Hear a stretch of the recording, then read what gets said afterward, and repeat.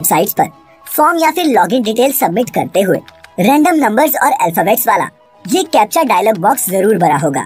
लेकिन क्या कभी आपने ये सोचा है कि आखिर ये क्यों भरवाया जाता है और इसका काम क्या होता है? नहीं दोस्तों तो बता दो कि कैप्चा की फुल फॉर्म होती है completely automated public Turing test to tell computers and humans apart ये एक तरह का ट्रिगर होता है जो वेबसाइट को आगे बढ़ने के लिए कहता है और इसका मुख्य काम एक मशीन और एक इंसान में फ़र्क करना होता है। आज एक सिंपल सा प्रोग्राम बनाकर किसी इंस्ट्रक्शन को बार बार देना बहुत आसान हो गया है।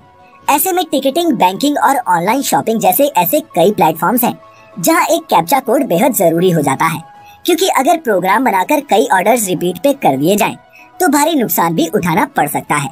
ये कैप्चा कोड्स ऐसे ट्विस्टेड और जम्बल्ड होते हैं कि उन्हें इंसान ही समझ सकते हैं कंप्यूटर्स नहीं।